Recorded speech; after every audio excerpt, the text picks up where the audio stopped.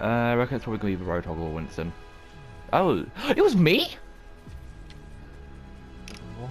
What was it?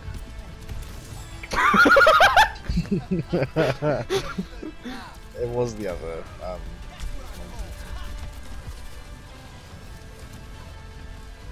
oh,